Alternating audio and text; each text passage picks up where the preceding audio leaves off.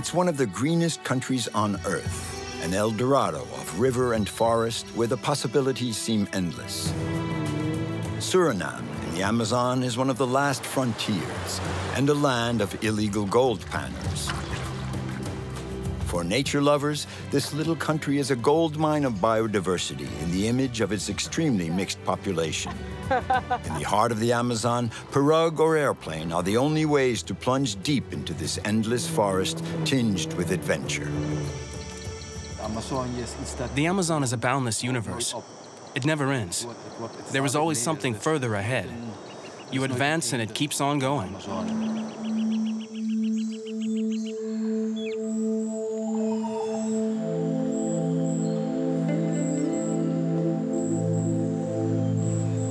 Fabian Vas is a Boeroe, a white descendant of Suriname's original Dutch colonists. He has decided to capture the beauty of his little-known country.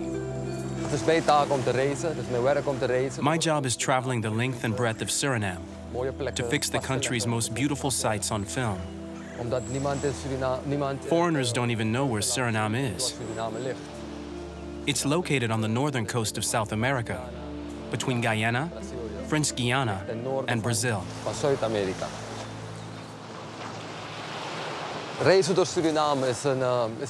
Traveling in Suriname is always an expedition.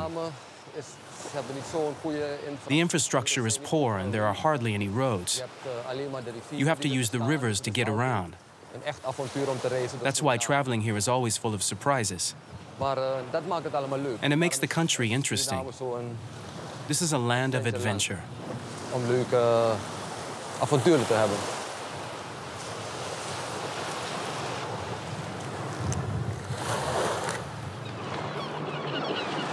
Fabian loves the wilderness and exploring unknown territories, photography, and the people he meets in his life. He has made a name for himself in this little country, flanked by the Amazon on one side and the warm waters of the Atlantic Ocean on the other. When you're a stranger and you enter a village, the most important thing to do is be respectful. Before I start shooting in the village, I have to go see the chief. I have to thank him for allowing me to photograph the village and the villagers. You have to respect the people. Explain to them exactly what you're going to do and be polite. It's normal. You're on their territory.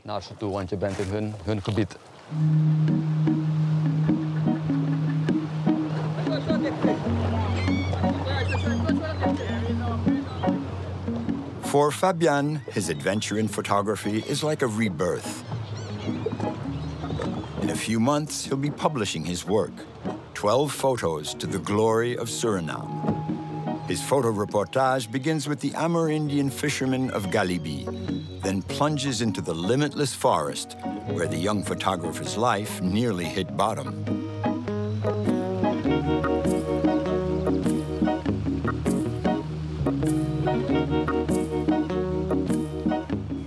goud gezocht voor drie jaar lang in het bos. I was panning for gold out in the forest for three years. Alleen dat ik geld nodig heb. Ik heb eh, een, een hele toffe ervaring I needed money. Dus uh, het was een, elke dag was It was a great experience, but I was always in danger. Elke dag was een gevaar en een nieuwe ervaring, sowieso. It was really quite something. Dagenlang, dagenlang geslapen, soms I wouldn't sleep. gelegen in mijn hangmat. En I'd be there in my hammock, afraid of being attacked. Om, um, om aangevallen of beroofd te worden.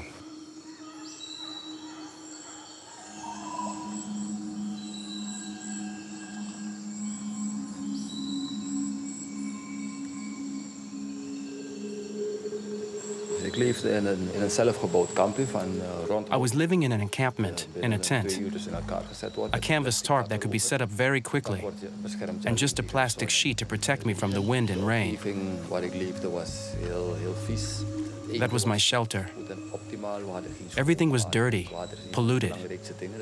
I was eating poorly, drinking bad water.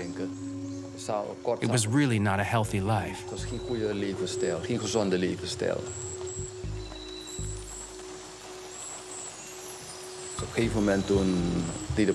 One day, there was a police raid. moment dat de politie kwam en ik illegaal aan het werken was, ben ik, heb ik mijn geweer gepakt in het bos. When the police came into the camp, I grabbed all my stuff, my papers, and ran off into the had ik het forest. heel moeilijk. Want het was, het, ik, alles kwam in één keer naar boven, weet je. Ik- I was in such a bad state that I broke down and cried. Het was echt even te zwaar. En door dat moment That was a decisive moment. I knew I couldn't go on with that way of life. bos ben gerend met die angst van de politie komt. I was afraid the police would catch me and lock me away. En, en eraan dacht van, wat, je weet er van shit, als deze man hem pakken wordt. That's when I realized that it just wasn't worth the trouble. Enkel goud. En It was momentous, a staggering moment, keer te stoppen ermee. even now when I think back on it. Het was een heel erg emotioneel moment. Ook nu als ik eraan denk.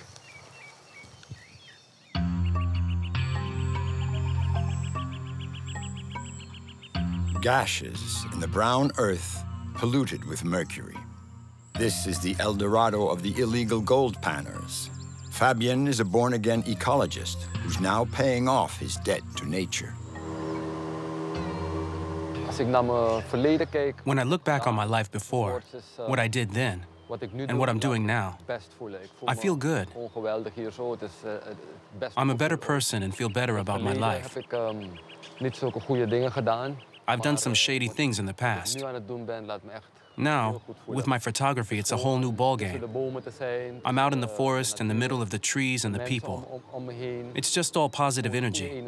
I feel it's my place.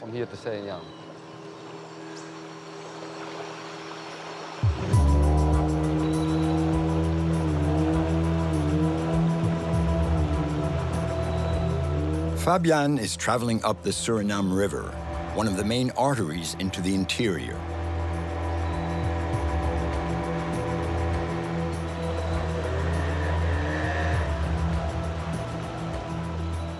It hasn't rained in weeks. Bad news for the boatmen. In the dry season, the inland villages are even more isolated from the rest of the world by the rapids.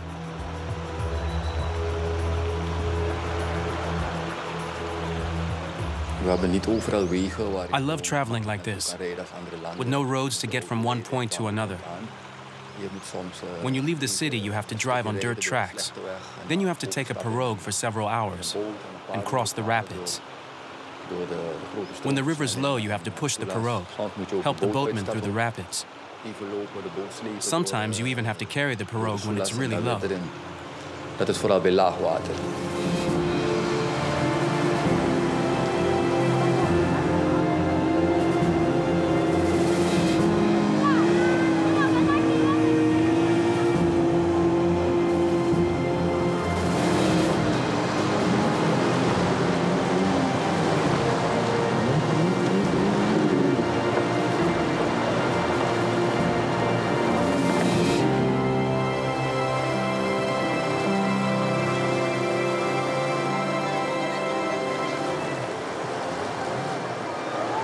Is het gebied van de, de Marons.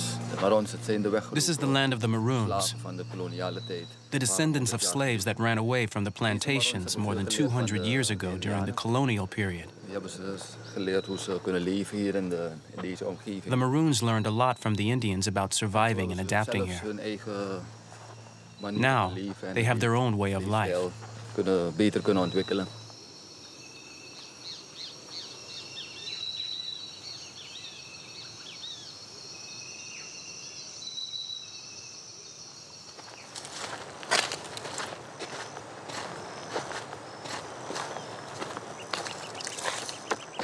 Het is een traditionele This is a traditional gateway designed to ward off evil spirits. eh, buiten te houden. There must be a village close by. doorlopen. Het is waarschijnlijk een, een, een dorpje hier zo, waar ik iemand moet ontmoeten.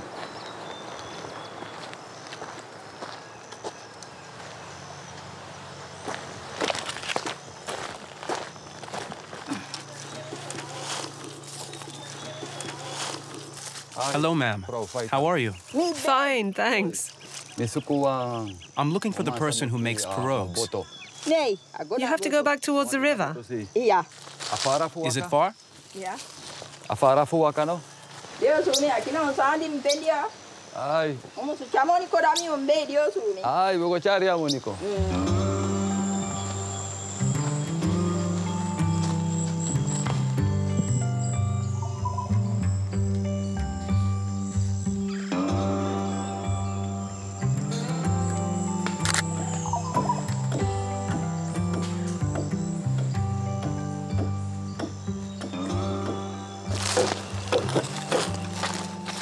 niko. Ay, pawa. Hello. Ai, man. Ai. Ik hoorde dat, ehm, dat er iemand in het dorp zei... They told me that there was a je boat builder here. Dus eh, het is... ehm, ja, ben je, dat... Yes, right here. It's me. Ehm, ik ben voor mijn werk hier om het... eh, I'm a photographer. En ik wil Would it be of je wat okay if I take some pictures? Te werken. Tuurlijk. Yeah, yeah, sure. No problem. Oké.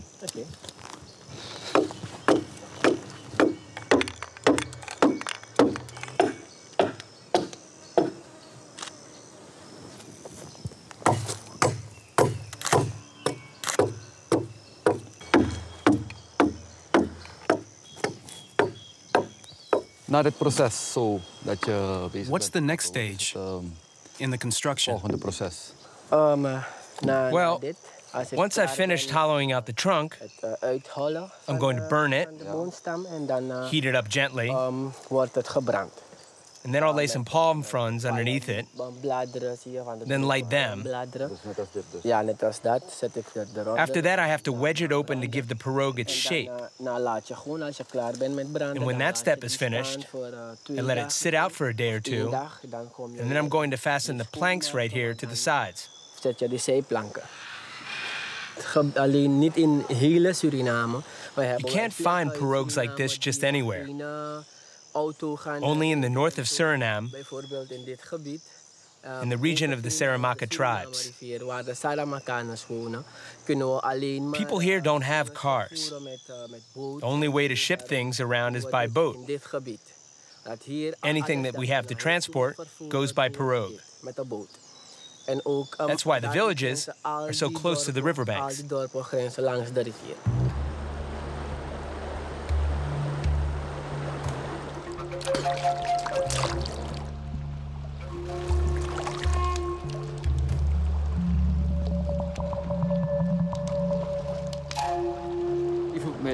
Ehm, Before, ehm, the gold prospecting was my whole life. mijnen En jagen, hunting. I hunted to eat, Ja, op dat moment and I destroyed nature in the gold panning camps. natuur eigenlijk allemaal te bieden heeft in plaats van om het te vernietigen.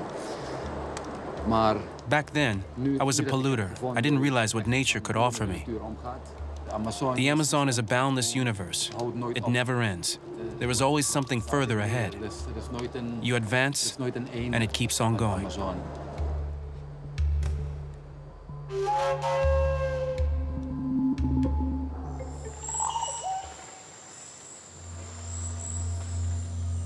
Brokopondo Lake, a vast reservoir of fresh water, is an otherworldly landscape, a parcel of the sunken Amazon.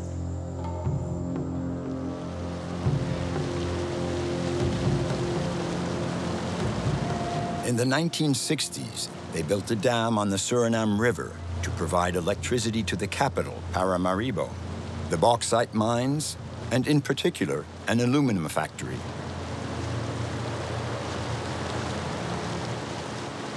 Al deze eilandjes die je ziet, het zijn allemaal... Those are islands over there. moet nagaan, het lijkt gewoon op een They used to be hills. Nor- Normaal tropisch, wow. You have to imagine that this used to be a mountainous tropical landscape. With the dam, the water er rose and submerged everything in the valleys, and the hills became islands. It's very mysterious. The trees underwater here. This has been a sunken forest for more than 60 60 jaar of years.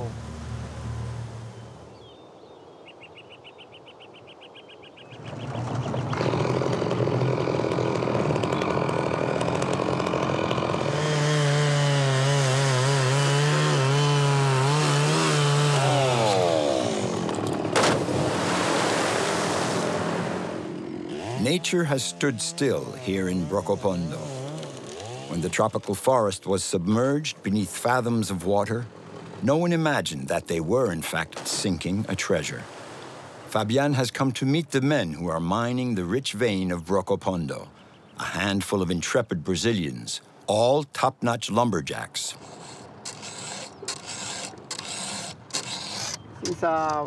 If the water's clear, it's good.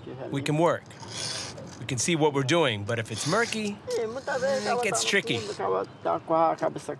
Often, when you're down at the bottom and you're a little tired, your mind begins to drift, you get distracted. This is not good.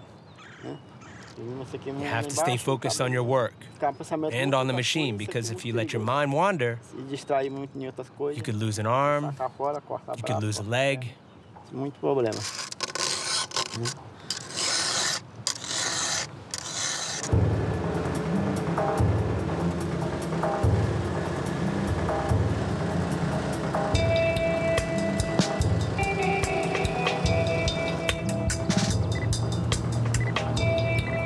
treasure of Brokopondo is down at the bottom of the lake. Mahogany, angelique, amaranth, millions of cubic meters of precious rare woods of the Amazon. As a general rule, logging trees here is not good for nature. But in this lake, you can just serve yourself. All the trees are dead. The tropical forest is as old as the world. We have to protect it. But here, the wood has been underwater for a long time.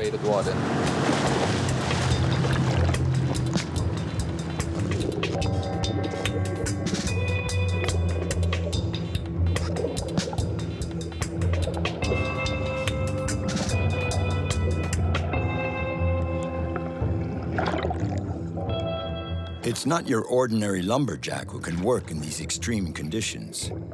He has to handle the chainsaw underwater while breathing through an air hose connected to the compressor. Tamu, the Brazilian, has arrived at the base of the tree, 20 meters down.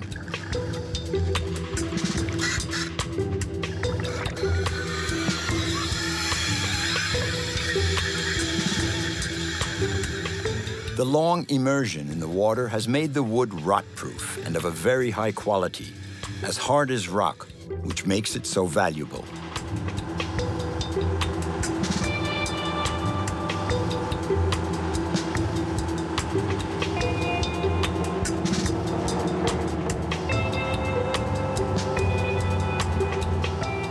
The lumber from Brokopondo is some of the world's most expensive wood. The lumberjacks have worked for the next 20 years, logging the sunken treasure of the Amazon.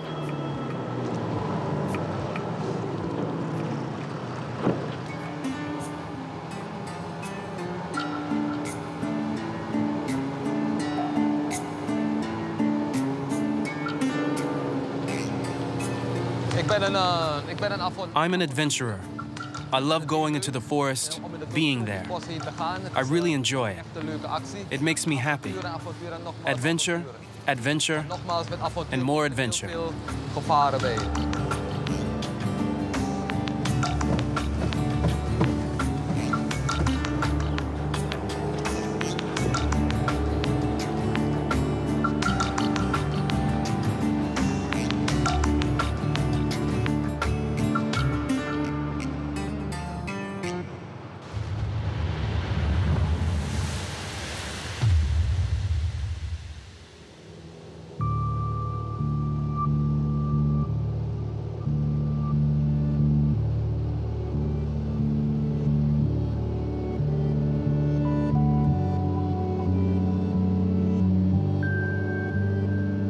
When I was young, there was the, the series Flying Doctors.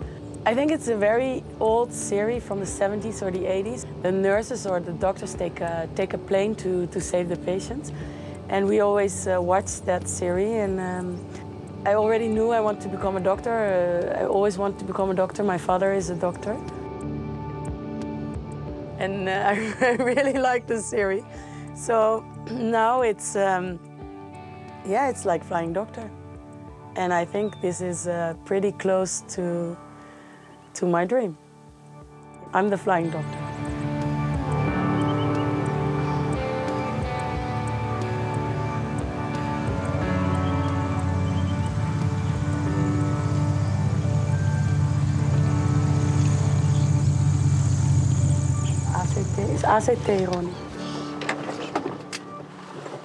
I deliver everything. the post, sometimes um, rice for the people who work here. But now we don't have, but uh, yeah, we, we take everything. For the tribes of the Amazon, the doctor always arrives by air and never empty-handed.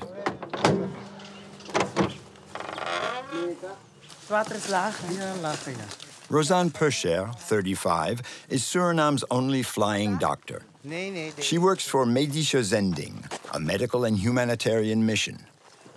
She crisscrosses the Amazon by plane, helping the communities isolated in the vast tropical forest. Well, I did my specialization in tropical medicine, and for that, I went to Ethiopia.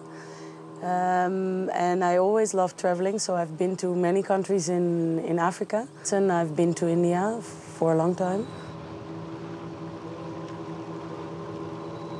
Rosanne has always preferred field medicine to a comfortable consulting room in Amsterdam. This is her profession and her passion, and it has made her a kindly, generous person. Rosanne visits the village of Apetina on the shores of the Tapanahony River at least once a month. The village practical nurse is there to greet her. Helpt nooit als hij mij toch? Oh, toch wel, toch wel. When a child has an attack, I treat him with a vaporizer. En dat laten we altijd uit. Now the parents have to know how to do it too. Dat ze dat merken, moeten ze dat doen. Ja. He doesn't like doctor. He's been in the hospital too long.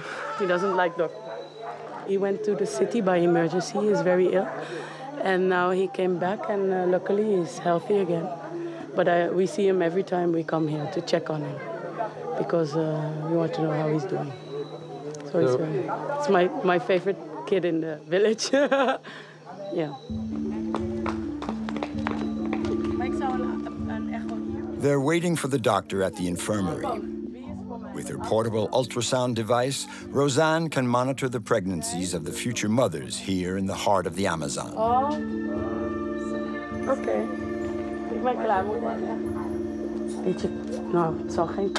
You love your baby already, right? Hoofd van je baby. Uh-huh. Dat hele ding is... Well, I'm going to show it to you and measure it. Dat kan je opmeten. You wanted a boy?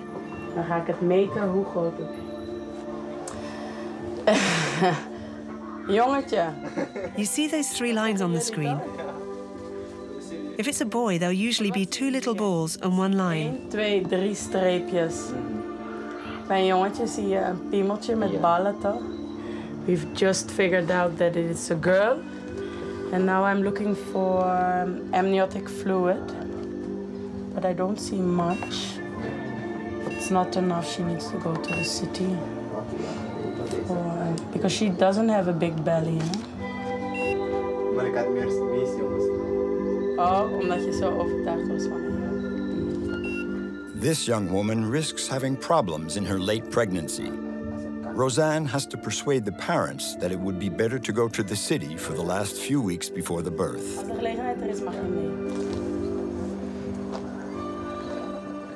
Sometimes they don't go because they're just they don't have um, a place to stay in the city. They don't have uh, funding. They uh, they prefer staying with their families. So sometimes in these areas we have very difficult uh, labors because uh, because of the people we advise to go to the city. Just stay here.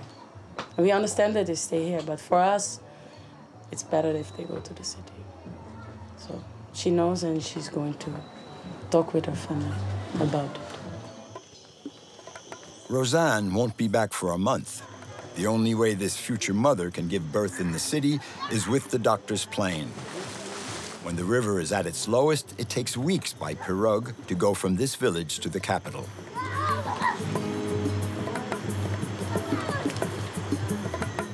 For Rosanne and Andy, her pilot, the job means endless takeoffs and landings.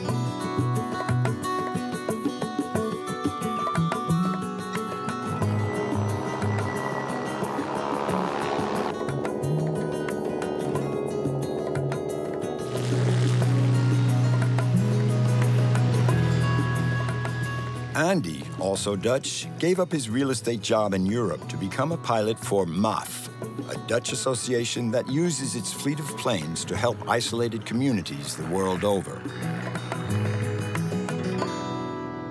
So serving together with uh, Medische Zending, um, yeah, it's just a benefit for both because we do the flying, they do the uh, medical stuff, you know.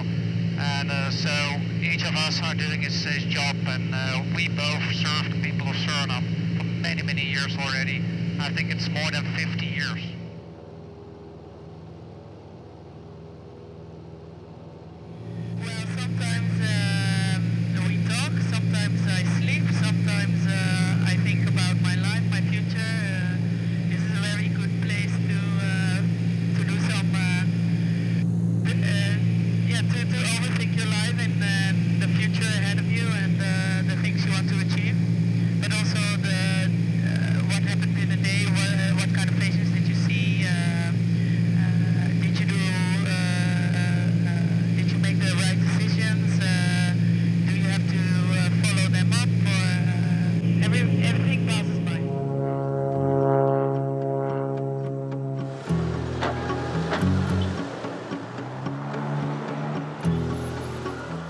years. quarters of this little country's population lives in Paramaribo, the capital.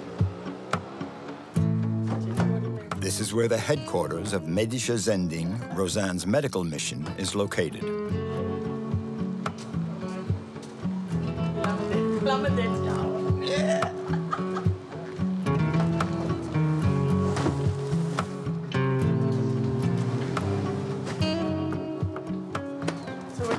This as, um, this is my ultrasound. And this is just material. Deze moet ook. Material for the polyclinic, for the patients. Some medication, some equipment. And vaccine. vaccine. Every time they set out, it's an expedition. The doctor's plane is not just a medical liaison. It's a veritable lifeline between the capital and the villages inland.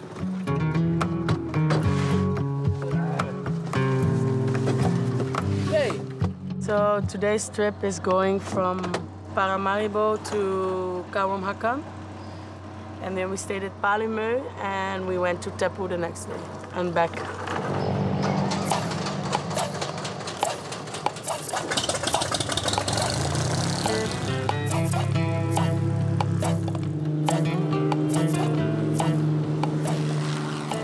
The village of Kawamaka is an hour and a half from the capital in the region of Upper Maroni. This community of Wayana Indians lives in the region where Suriname meets French Guiana. This is where the borders start to become uncertain. No one ever comes here, apart from the illegal prospectors of the Wildcat gold mines.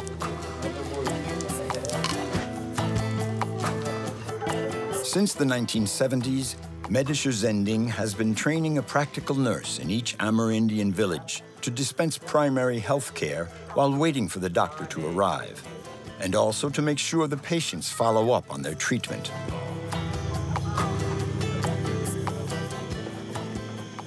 Hi, Meep. Meep, the village chief, is also Kawamaka's practical nurse.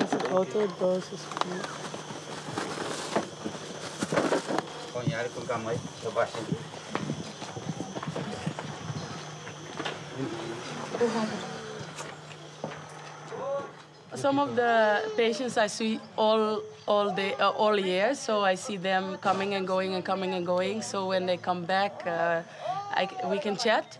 But sometimes it's very busy, and we have we don't have the the time to really have this relationship, building of the relationship. But uh, some of the people, they're chronic patients, so I see them a lot. As the practical nurse, Meep attends all Rosanne's consultations. Like all village chiefs, his words are respected and heeded.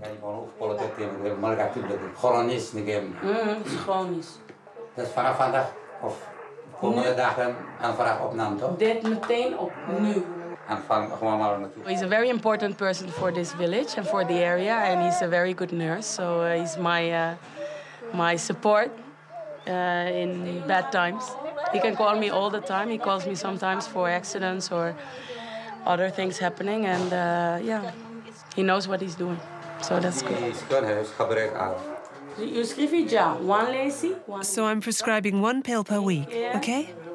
Per week. Oh, yes, you like to laugh, you. Rosanne has a two year old son and is expecting her second child. This has changed her status in the eyes of the Indian women. Je ziet geen slijm en je hoort geen slijm. Is hij benauwd?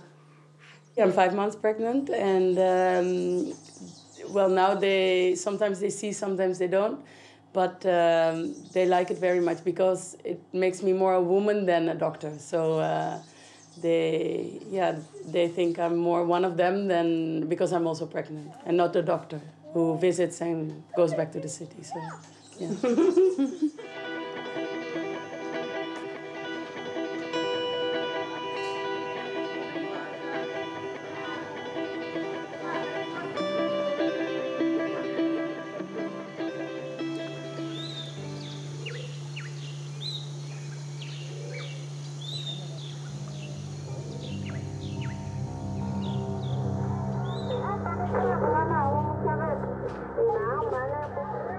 Rosanne has just received an emergency call. She has to cut short her consultations to go help a young woman who's having problems in labor. It will be a 40-minute flight.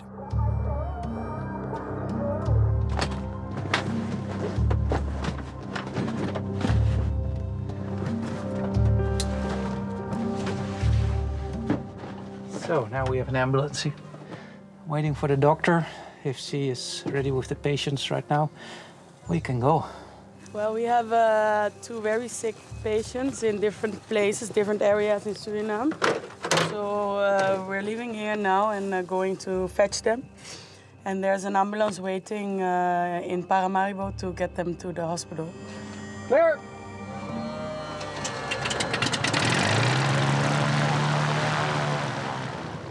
It's a life and death situation, and Rosanne is in a race against time. She doesn't know anything about the mother or baby's condition. When they land, the village practical nurse fills her in. It seems that the baby is out of danger, but not the young mother.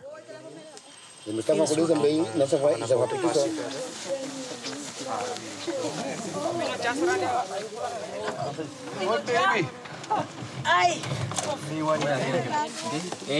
Every year, they carry out 200 medical evacuations through the skies over the world's largest forest.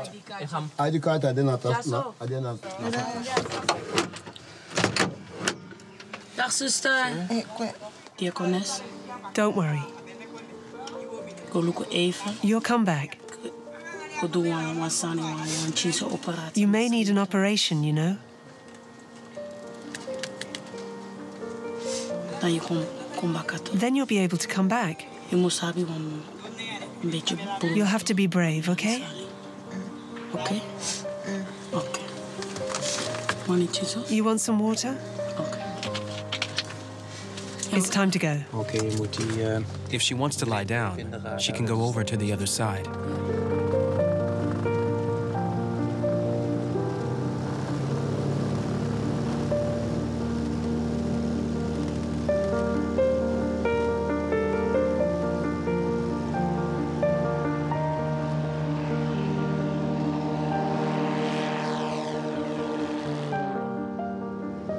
I think when you decide to become a doctor, you also want to help people.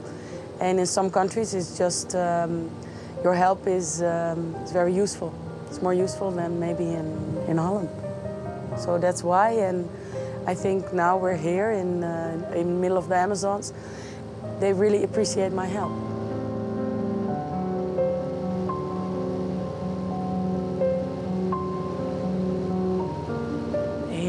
The people just live day by day. They take life as it comes, and they they cherish it. And um, for me, that's very it's a very valuable lesson that you should always um, yeah appreciate your day as it comes. I can co contribute more than maybe I could staying in Holland.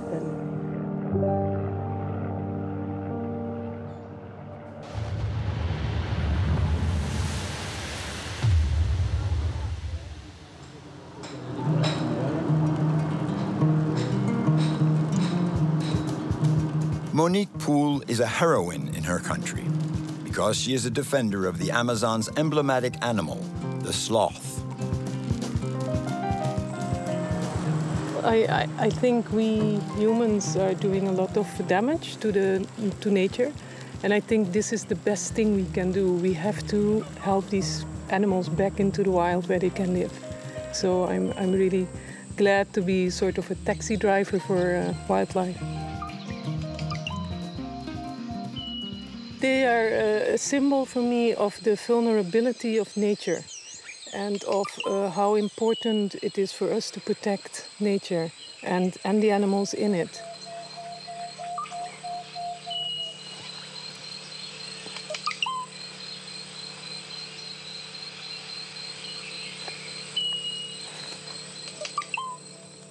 This animal always seems to be smiling, and it has a charming, peaceful nature. Its incredibly slow pace is due to its diet.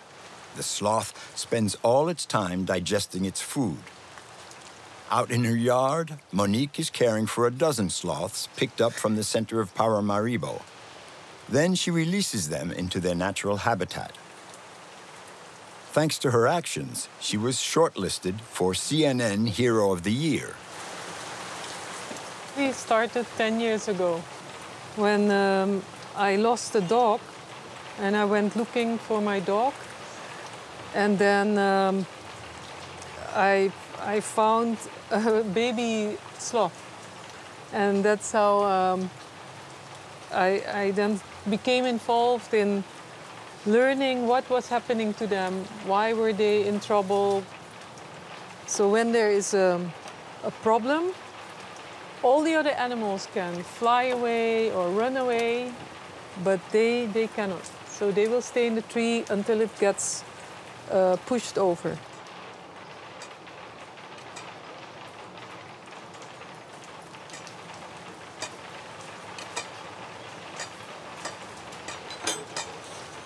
Monique's yard is a little Noah's Ark, a haven for the more fragile creatures of the forest. She also shelters porcupines, anteaters, plus one giant anteater, vulnerable endangered species from Central and South America.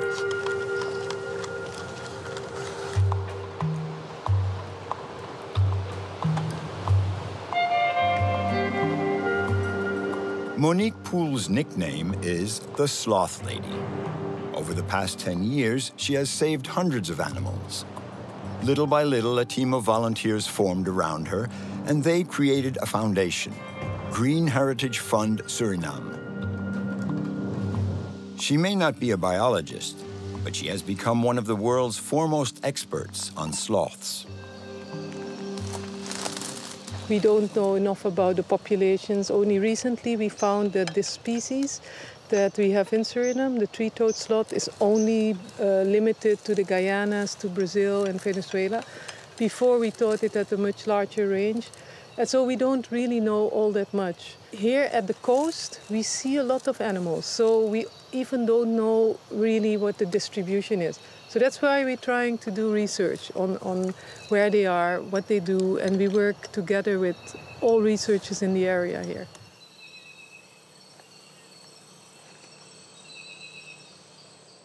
Four years ago, Monique carried out her most memorable rescue. She had been alerted that about 10 animals were in the woods close to the city. But nothing went as planned. Monique filmed the whole sequence. This was in 2012, and we rescued a lot of animals from a very small piece of land, only seven hectare, and there were really a lot of animals, uh, a lot of sloths, but almost 200 animals in seven hectare of land in the city. The operator was very nice because he was really looking for the trees not to fall down, but push them onto other trees so that the animals wouldn't be hurt. Two we found later were um, dead, but then most of them were um, just um, completely unharmed. Maybe scared, but uh, that was it.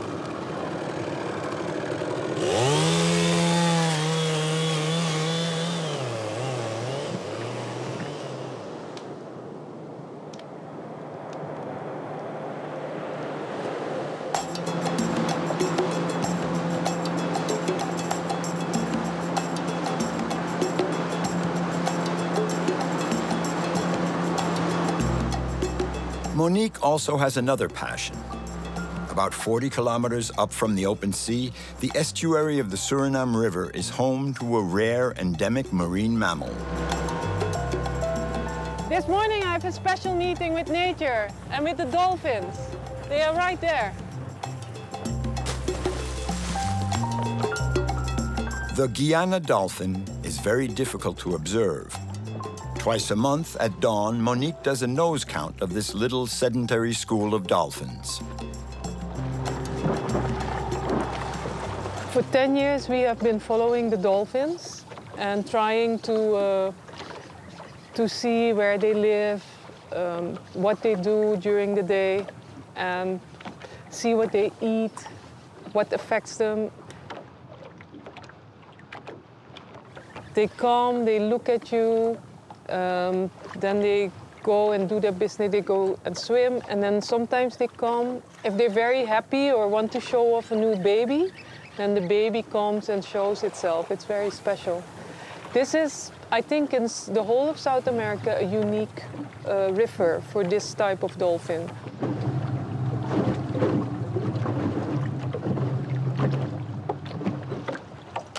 Monique passes on her observations to French scientists studying the Guiana dolphins. They recognize the value of her work, even though she is not a scientist.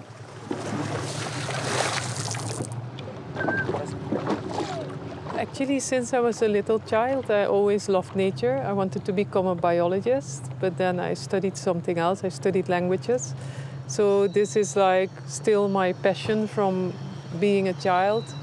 Now to still be close to nature and be able to do something for nature. It's really uh, fantastic.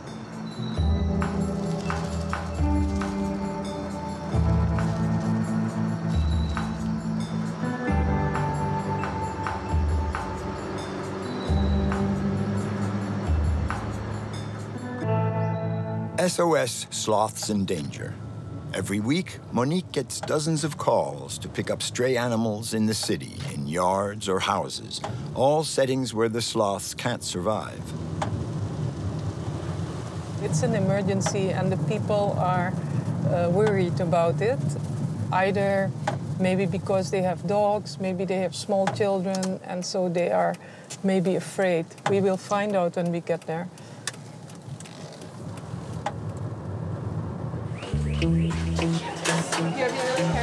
Yeah.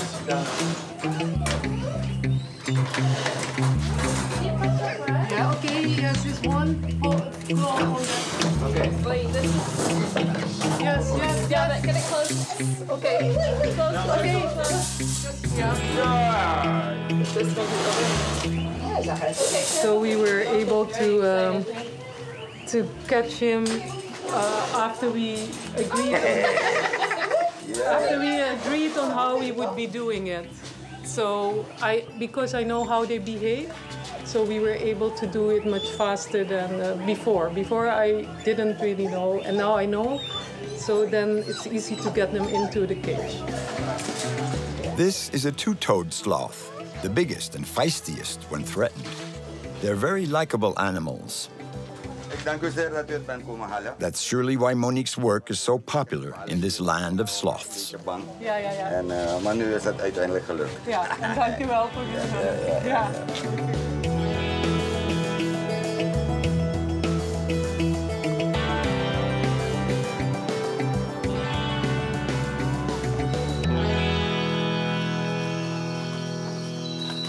Hé, hey, hey, we gaan je loslaten, hè? Een beetje rustiger. Today, Monique is going to set free the very healthy sloth they picked up in town.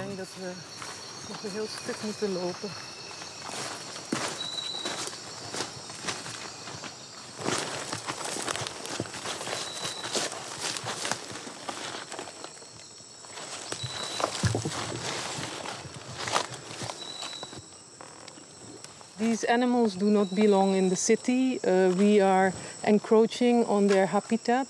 So there's a human uh, animal conflict there. And the best thing we can do for them is to bring them to a forest of which we know that it's not going to be cut and where they can live for uh, many, many years. So every animal we get, if it's healthy, it will go back to the forest like this. she is. She knows. She's like, okay, open it, open it. huh?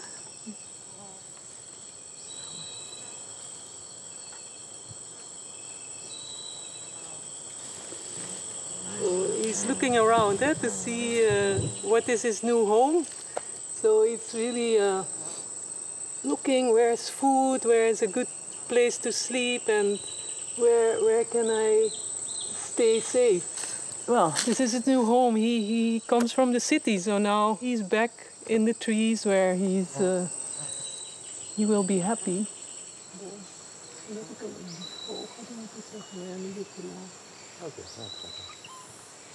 This is the most amazing moment of every rescue because this is where they belong. And so within a few minutes, you're not able to see them, but you know they're there. You know, these little friends I have, that they are there, they're watching me. And it's just a fantastic uh, idea. This is where they belong. You can see their whole uh, face is changing, their energy. They, they love this is this is their home. So this is the best moment. The best moment of every every animal that we get is when we can let it go back to the forest. Yeah. Monique has managed to buy a small parcel of Amazonian forest thanks to the Green Heritage Fund. She's planning to build a large refuge for sloths here in a few months when she has collected enough money in order to ease their return to the wild.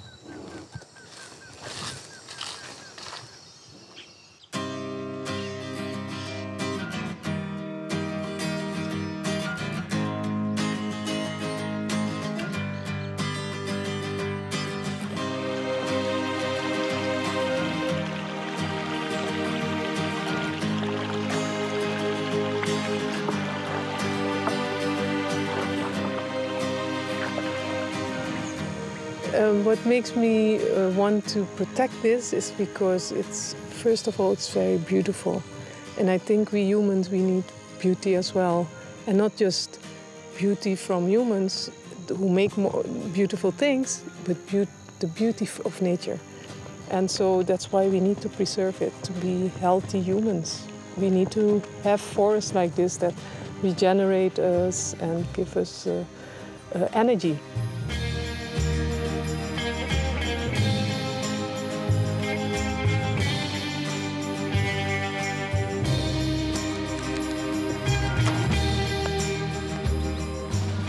Monique came here to feel the pulse of the forest atop the Voltzberg Dome. Someday, she'll write her story. The story of a woman in love with the sweetest and gentlest of animals, the Amazonian sloth. You just feel at peace here, just complete uh, at ease. This is where we belong, I think.